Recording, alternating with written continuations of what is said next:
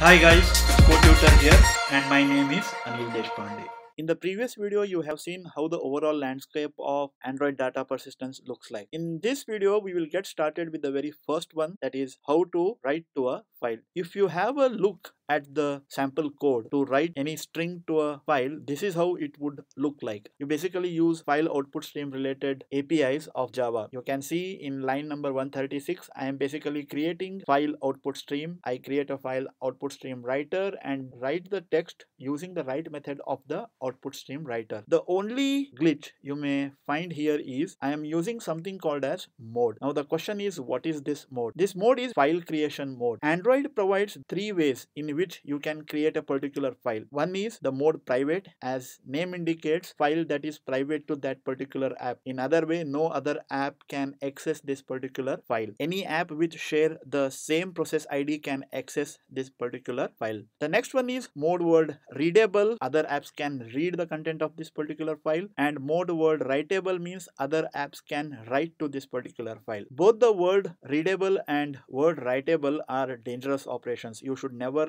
create a file in this particular mode because if you write any sensitive information to this particular file, there is a possibility that some other apps can read the content of this particular file. And that is the reason why from API 11.17 onwards, that is Jelly Bean, the mode world readable and writable are actually deprecated in Android. Now this is how you write to a file and what if you want to read from a particular file? The code will once again pretty much look a typical Java code. You use the file input stream and then create a input stream reader. You use a string builder because as you are using buffer reader, you will be reading multiple lines. So till you don't reach the end of the line, you want to keep on appending to the string builder and once you are done and reach the end of the line you come out of the while loop and then just return the string so far what we have seen code looks pretty much java code. So it's a time to get into a quick demo have a look at how it can be implemented in a typical android application. This is the application that i have created. If you observe i have a main activity and the main activity contains edit text box where you enter any string that you want to write to a file. And when you click on this particular button you write to a file. And when you click on read from file you read from the file and I also have a text view where I will be displaying whatever that I have read from the file. Now if you come back to the main activity I have written these two methods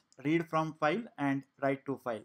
Now we will see how to use these two methods to actually do any kind of operation in Android. And if you observe when I click the write button file, I am invoking a method called as write content to file. And in the write to content file, I get the string and check whether the string is not empty. If it is not empty, then you can go ahead and write to a file. For that, you can just simply invoke the method that we had written earlier that is write to file three parameters the file name i have created a constant here file name which has the value sample dot the second parameter is the source text which is string here and the third parameter is mode and i want to create it in the private mode and this will basically write the string to file. Mode of that particular file creation would be mode private. And in the same way, when I click on the button read from file, uh, another method called as populate the read text will get invoked. It will set the text to the text view. So I have a text view called as text view content from file set text and what text it will set, whatever it will read from the file and file name is the constant that I have declared in the activity. And another thing that I want to take care is if the application is closed and reopened, then on the on resume method, it will check whether the file is already saved and some text is there. It will just directly repopulate it. So that is why I have written another method called as populate text from the previous session. It will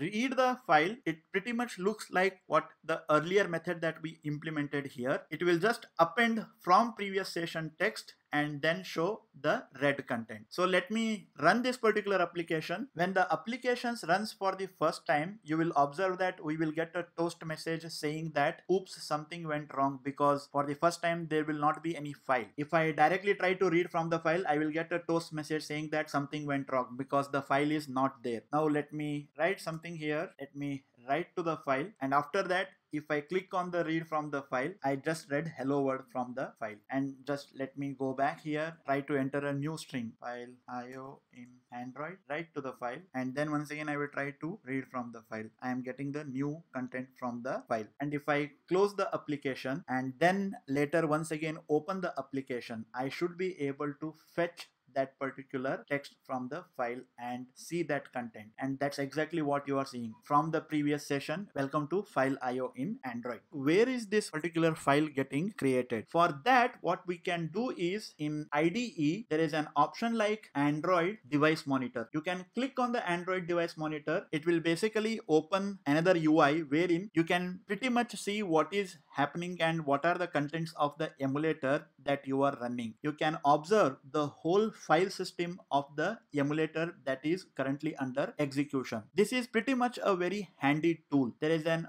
folder called as data you can go under data and then under data there will be another folder called as data. And then you have to search for the folder which has the application package name. Your applications package name will be available in the manifest file. If you open the manifest file it will be having this particular package name. That is youtube codetutor.com dot file io sample. And if you check you will get exactly that particular folder with the same name under this there will be various subfolders. The one that we are currently interested in is files folder and under files folder you will observe a sample.txt file. You can just pull this particular file and save it on the desktop. You can open it using any of the editor that you might be having on the machine. So let me open this and this is exactly what you have written to the file so by now you will be familiar where to get this particular file and what is the folder structure in which the file will be maintained in the next video we will be discussing how to create a file in the sd card that brings us to the